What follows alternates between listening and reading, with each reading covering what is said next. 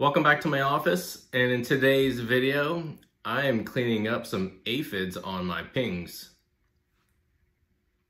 How'd they get there? Yeah, so sometimes when you buy plants from just places and you have an office and you can't quarantine them in a certain like location.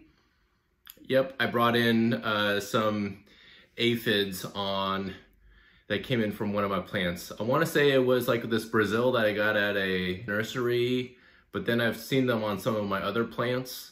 There are only like a, a few of them, but I think one of uh, the aphids hopped on to kind of like my pings. Luckily, it only got like one of them really good and I had to get rid of them. It was a pirouette uh, ping. It really demolished it, but then it also snuck onto all of my propagation trays. Yeah, I was trying to control it, but they kind of, aphids are, they kind of spread a little bit. So I had a little, kind of like a come to Jesus moment where I was like, do I set these all on fire or do I actually treat them? And of course I didn't go with the previous. Definitely don't want to set all my pings on fire because yeah, I do hate bugs. Luckily at the same time, uh, during, during this, in my Facebook groups, I think it was the carnivorous plant group or the Pinguicula plantation, someone also had aphids all over their uh, Droseras and it was a lot. Reading through the comments, you know, some use some different uh, kind of like chemicals. Maybe chemicals isn't like the right word because, you know, like neem or some kind of like Captain Jack's or, you know, they're all natural. But I was, I'm just a little too uh, nervous to use that on my pings. So other suggestions was, let's just submerge them for 24 to 48 hours. And that's what I've done. Check this out. Here is a small little container. So I, I wanted to test this out first, like with a small batch this is my second one. I've tested it out with a batch and I've just kind of, I needed to kind of keep the pings underwater because they do float up to the top and I wanted to make sure I get a lot of coverage. And then hopefully the I can see actually some of the aphids just kind of like are drowning. But what I've noticed is that they, as in the aphids, they do still they still stick to the leaves a little bit. So I do have to look at each and one each and every one of them. I have this little tool right here that I use I think I got this like in the, the beauty supply section because I wanted something really small, rounded edge. I think these are actually more used for uh, popping your zits, but for me, I use this to actually pick off uh, the aphids off of these pings. So with that, I'm actually on a uh, makeshift uh, tripod here because as you can see, my actual, my real tripod, I'm actually using it for a time lapse on my uh, Monstera there. I got two new leaves coming in and I was preparing this video and I was like, oh, I don't have my tripod. So let's do a little makeshift here. Let's see if it'll kind of come out all right. We'll see how things go, okay?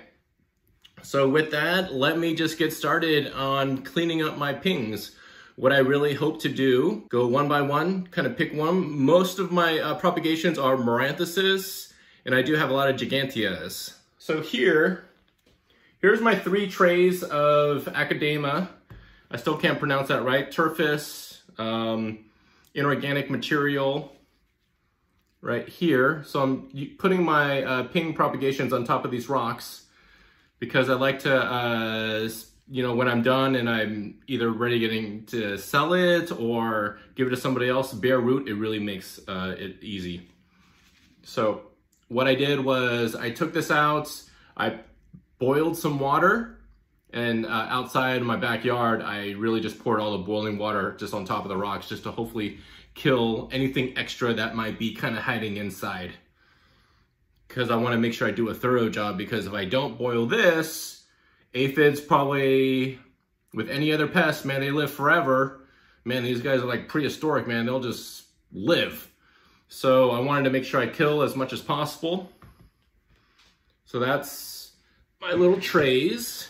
I wasn't kidding when I said I was gonna drown my pings.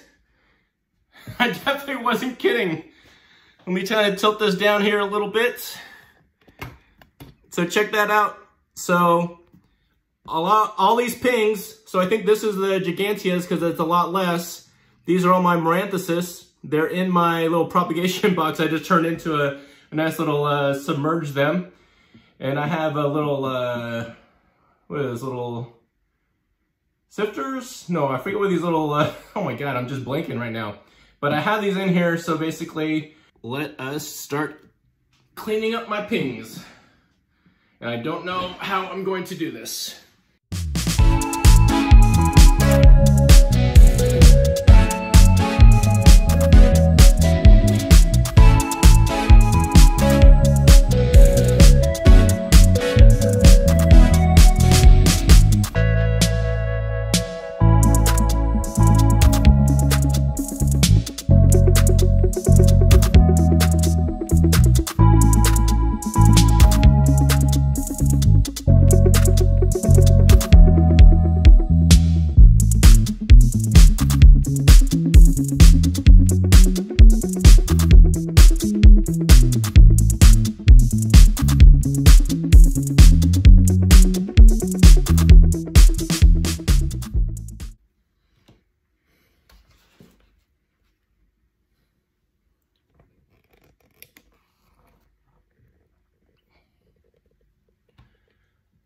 All right, and there she has it that I've completed cleaning all of these pings that I've basically drowned uh, the aphids. Now, surprisingly, when I was cleaning these, that I did notice that there were only like a few aphids on the pings, which was great.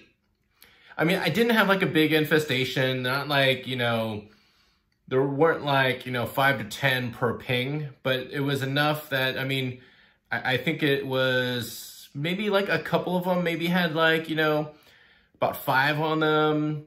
I, I couldn't tell if they were like babies or like eggs. That I have no idea how the aphids uh, reproduce, but I thought it did a, a pretty decent job uh, with this first try. So with that, uh, this big old batch, let me just kind of show you right here. That's about, about like 60 plus uh, pings. So I had to go one by one through uh, each of them. And I mean, it worked out uh, pretty good. I'm actually pretty excited. Now, what I'll try to show you is uh, if there's any like what are, what does the aphids actually look like like in the water? So maybe I'll try to get like a clip of that. Uh, I have my little container uh, my container that's just right over there. And then there's my little water tub. If I'm able to get uh, some video of it I will uh, put it in this clip. But if not uh, maybe I'll try to get some like still images. Uh, before that what I've also done was I did take a, a few videos before about, you know, just seeing how big the, the aphids look.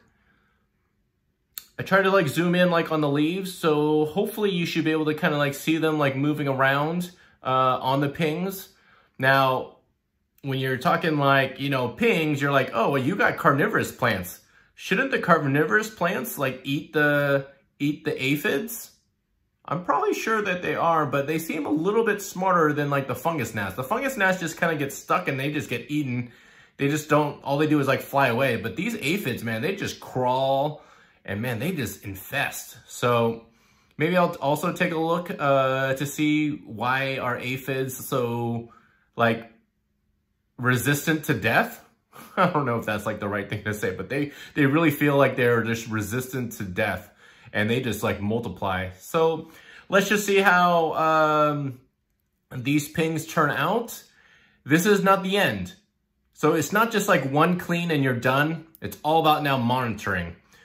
I think that I will, should I spray these guys with some like neem oil or something or Captain Jack? I probably won't. I like to kind of keep it uh, free of any kind of like spray as best as possible. So let's just kind of see uh, how that turns out.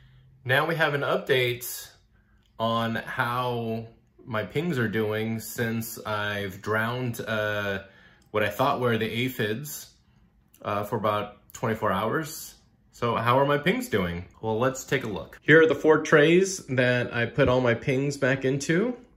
So this is about like a week and a half after I've drowned uh, the aphids and what I thought, I thought I drowned 95% of them because, you know, I've been monitoring these about every day.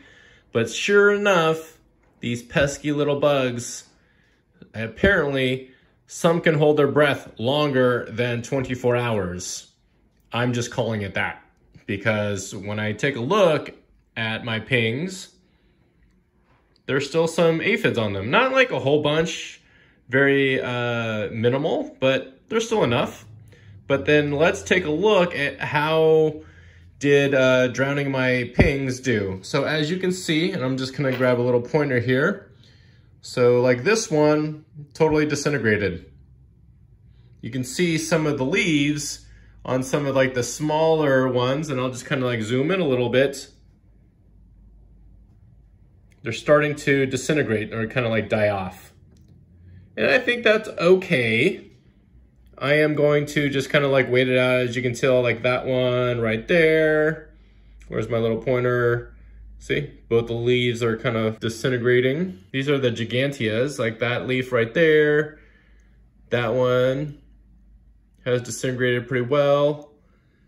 This one's doing okay it's doing okay, but then as I'm doing it, you can see right at the tip, right there, there's another little aphid.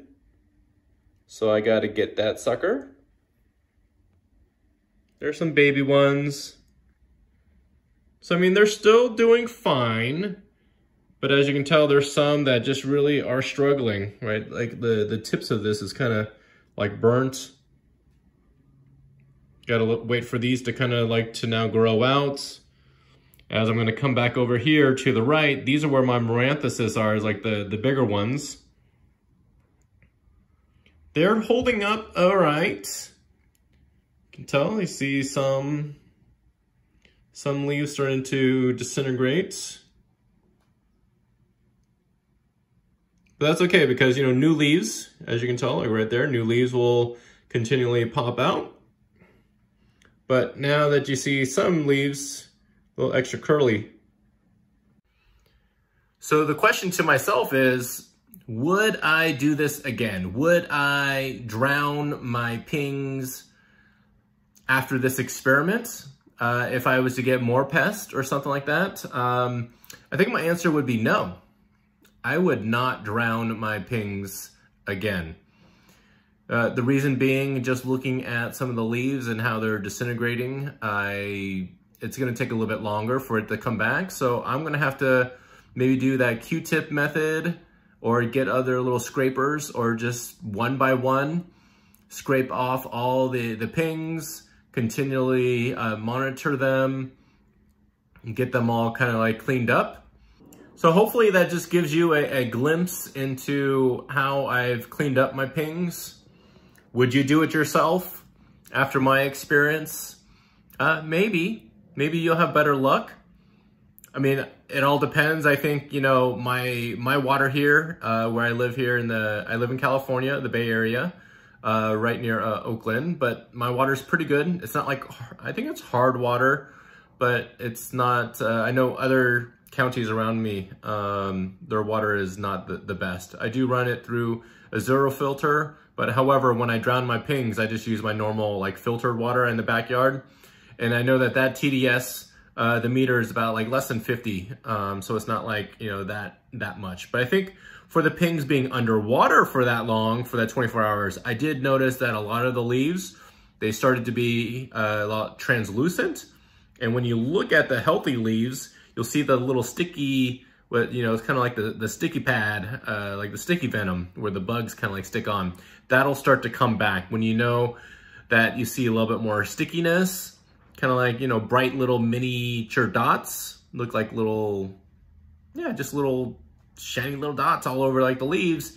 That's kind of like the healthy leaves and that will definitely uh, give you an indicator that you know that that ping's uh, coming back. So with that, I appreciate you checking out this video.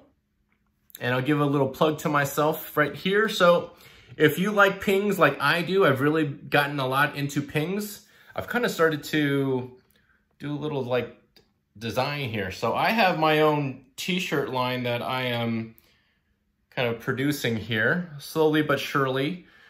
Uh, I do like my pings. Maybe I'll turn it into some art because look, I got all this like white space in my office. I gotta fill that sucker. I mean, it's, I'm been in my office now for really, what is it? Uh, September, almost October now. So like October 2021, I've been in my office literally for like two plus years just working here. So yeah, it does get a little like mundane sometime, but you gotta kind of like fill it in with some, some creativity. I mean, I can only enjoy my plants so much, create so much, but at the same time, I'm stuck in here for a while. So I would appreciate it if you uh, hit that like button. Definitely helps with that YouTube uh, algorithm. I definitely appreciate for those of you who, who have subscribed to my channel. I can see that it's slowly growing. I'm almost to about 300 subscribers. I really appreciate it. I really appreciate all the comments that you put out there. Uh, and maybe just kind of, maybe you can give me some suggestions about uh, what else could I do to kind of help clean up my pings. So with that, remember, hit smash that like button, and until the next time. All right, take care, everybody. Have a great night. All right, bye.